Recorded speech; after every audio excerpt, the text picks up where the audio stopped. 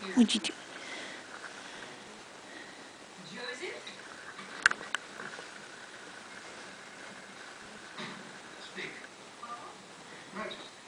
It was I the president.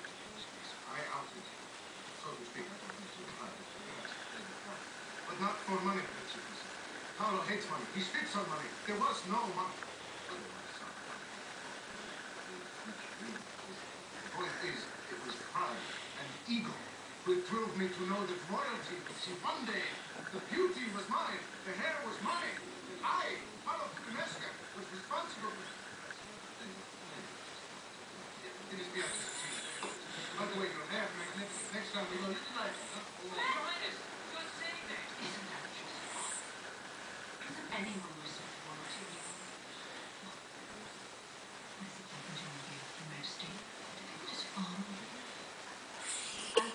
born with a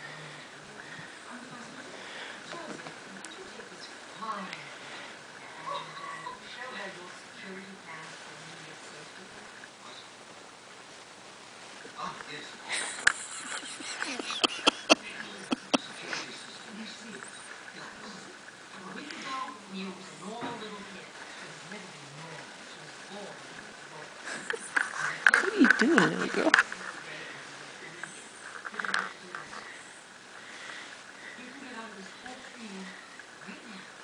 Why?